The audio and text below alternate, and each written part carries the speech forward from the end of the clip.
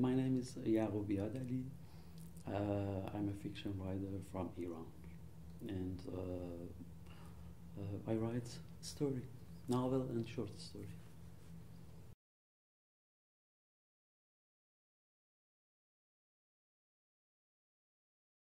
Mm, uh, in my country, uh, you should fight uh, to survive as a writer, and you should fight in order to write and uh, publish your works.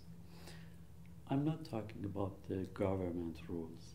Before that, uh, you have to deal with some things uh, like your family, your job, um, sometimes your people, and uh, and some traditions. Uh, I would like uh, to be positive about this. Of course, uh, the best thing about being a writer is uh, the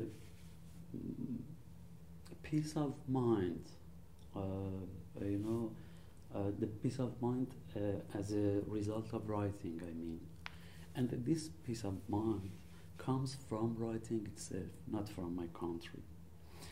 Uh, my life uh, has been a crisis in my country, and uh,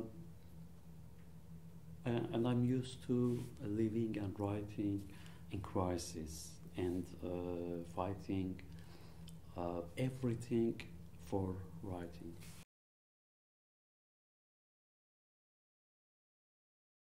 Uh, answering to this question uh, can be difficult. Uh, if I want to be honest, uh, I will be accused of uh, not liking my country. Uh, uh, you know, there are many nice things in my country. Beautiful nature, ancient civilization, and historical monuments, and also delicious foods, beautiful songs. But you can find all of this in some of other countries too.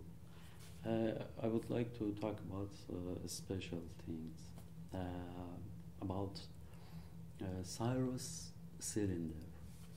The Cyrus cylinder uh, is an ancient clay cylinder which is written a text about human rights on it.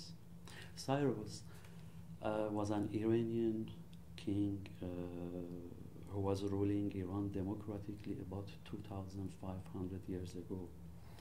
And uh, this cylinder now is kept in the British Museum in London. Uh, many, many believe uh, that uh, the Cyrus cylinder uh, is the world's first uh, declaration of human rights. and sometimes I think um, the Cyrus cylinder can be a, a bitter uh, historic humor as well. Uh, the uh, the fact that uh, there was a uh, democracy in Iran about 2,500 years ago.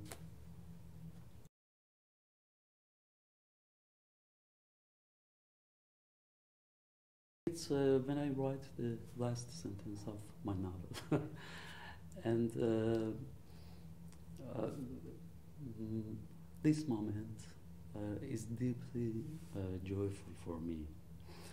Uh, by writing the last sentence of the novel, the pain of writing ends.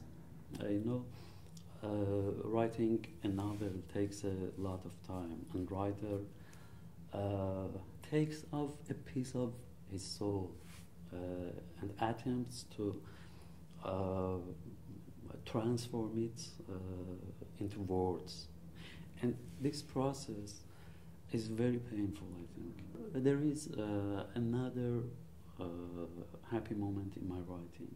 Uh, when I hear from my publisher that my novel uh, has been approved by the government for publication. Uh, Uh, in Iran, uh, writers have to send their works to, to, the Ministry of Culture and Islamic Guidance to give uh, permission for publication. And uh, sometimes hearing that uh, a novel uh, has been approved, it's more satisfying more satisfying than writing the novel itself.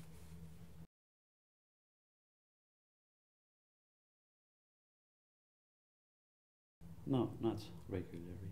Uh, sometimes I read poetry uh, if I uh, have enough time or free time for that.